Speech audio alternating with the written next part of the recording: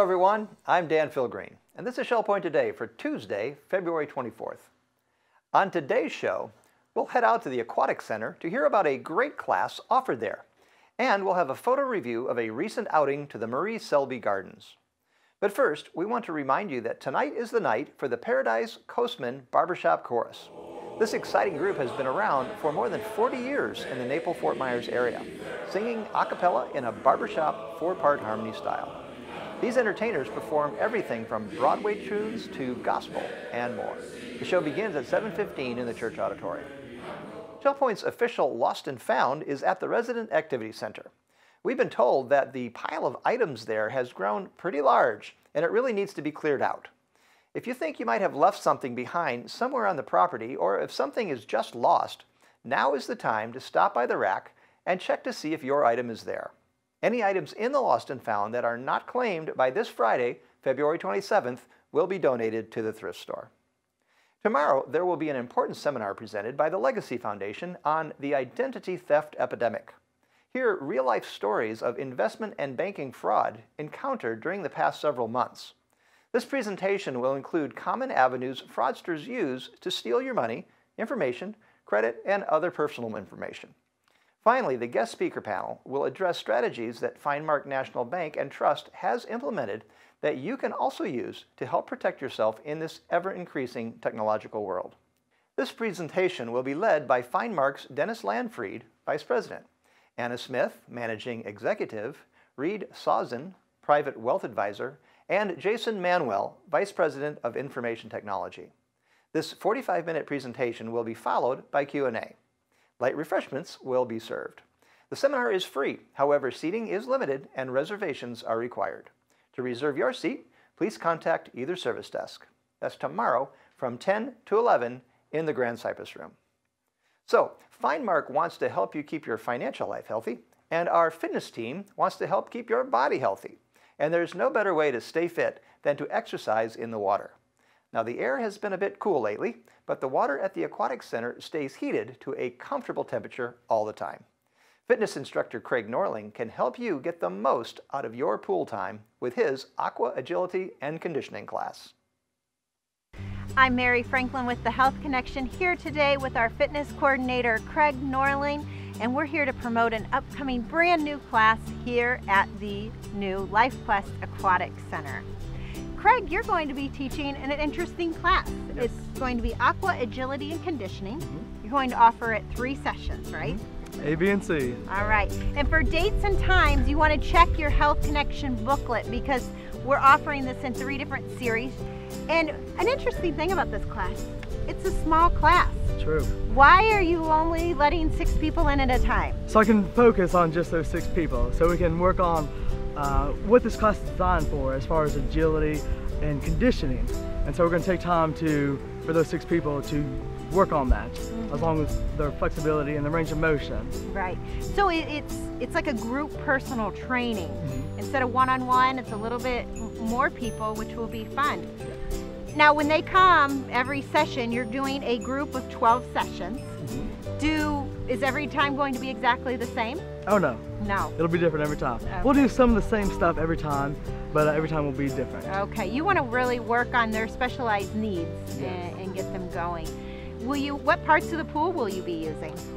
I get really all of them. Okay. All of them. We might do a little deep water. We might use some of the therapy pool. We might even use the lap lane right here.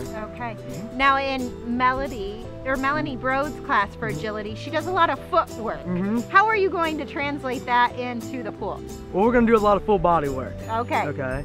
So we're going to use their entire body and moving them for a lot of time. Okay, all right. So it's really that, that real focus group, a lot of attention by Craig, and you want that from him so he can push you to your limit, but not too far. He's just going to make you just get to that uncomfortable zone, right? Just enough, yeah. Right, and make you push it. And so this will be a great class if you want to get into the water and push it a little bit more than what you traditionally have. Um, Craig will be your, be your guy to do that. I'm Mary Franklin along with Craig. Make it a happy and healthy day. An Academy on the Go class recently took a trip up to Sarasota to enjoy the Marie Selby Botanical Gardens. This magical place maintains a collection of more than 20,000 greenhouse plants, plus thousands more in the outdoor gardens. Palm Acres resident George Waters brought his camera along and brought back these beautiful images for us.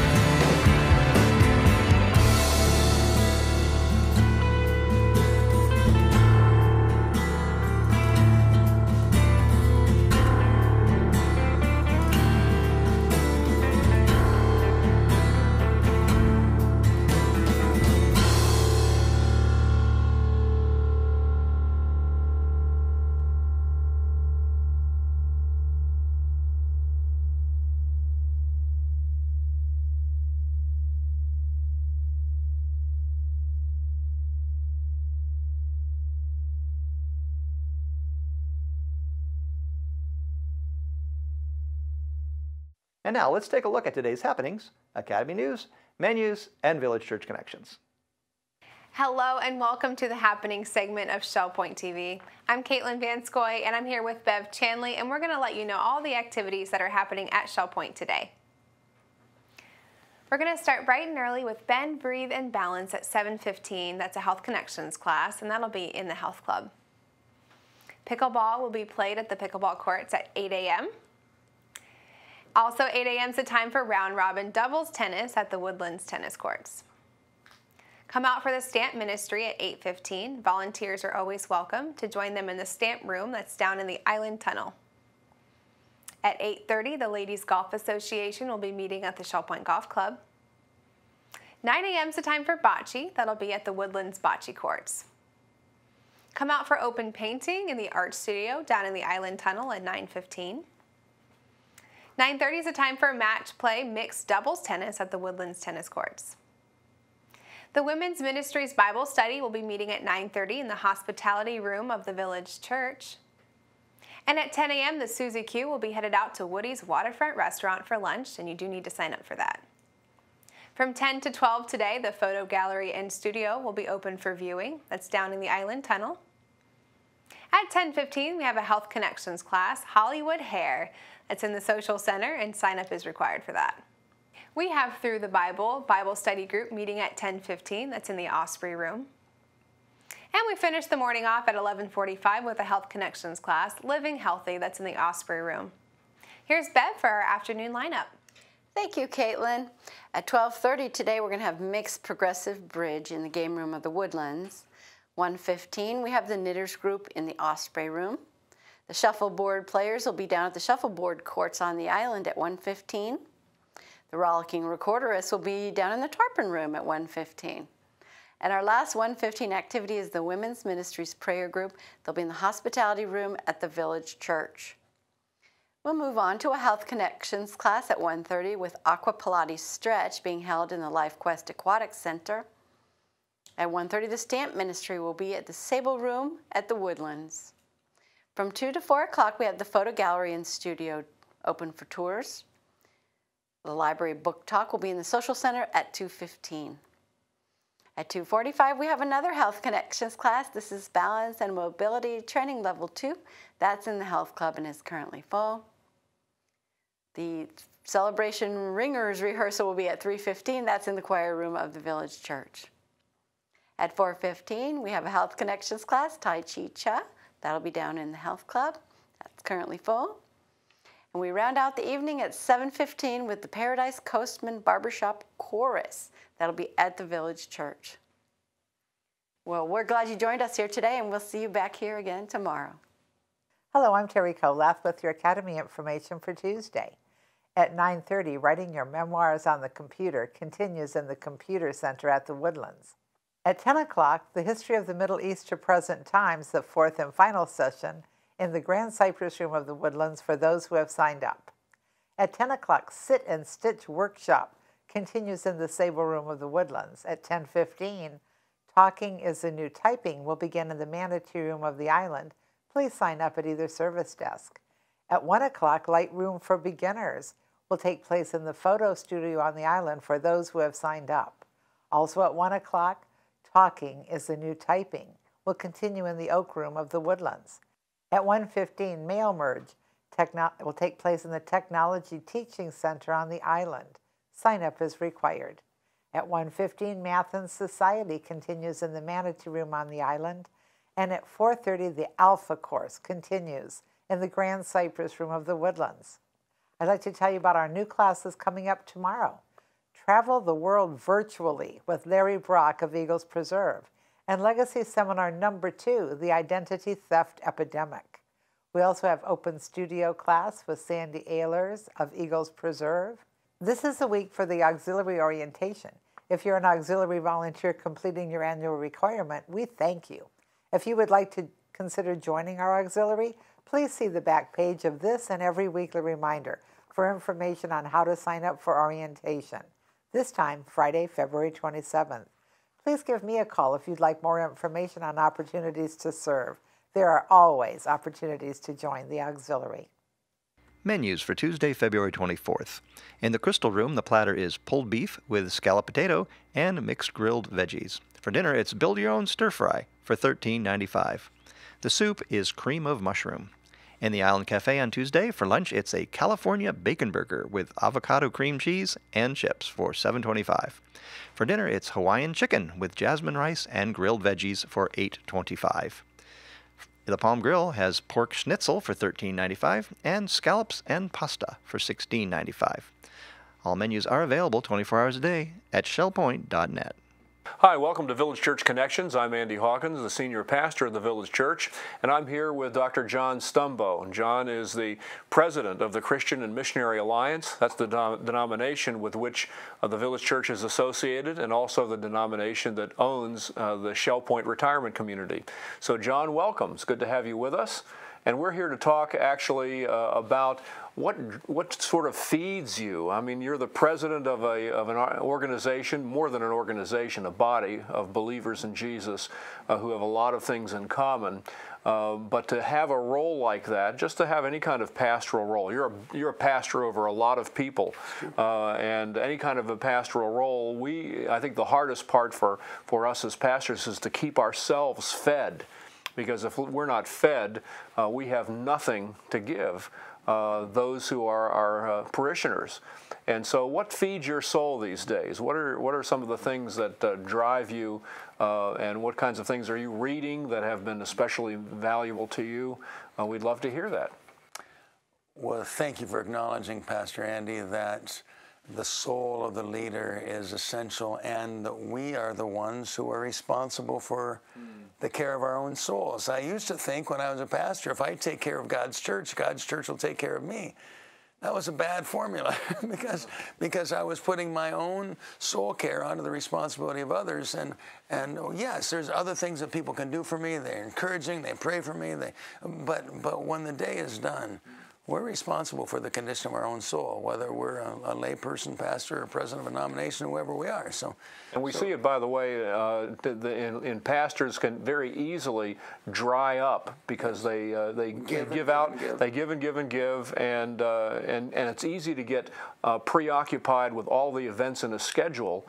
Uh, we end up uh, waking up after a year or two uh, wondering, you know, where are we? Yeah, that's right. Why do I feel so shriveled? That's right. Uh, and Pastor, can I just say to you that every time I meet you, it seems like you're fresh and alive, and so you must be doing something as well to, to nourish your own soul. But I commend whatever you're doing to continue on. You're absolutely right about uh, needing to do it ourselves uh, and be, be responsible for it. So tell us, what what uh, what feeds you these days? Well, so spending time in the Word is is essential for me, and to do so in a manner that allows for some reflection. I cannot say I do this every day, but, but when I get past the surface reading of a passage and try to begin to listen to what the Spirit of God is saying to me in that passage, um, and to, to, place myself in the story or uh, in that historical situation or the poetry that's being written, as the scripture is full of so many varieties of text.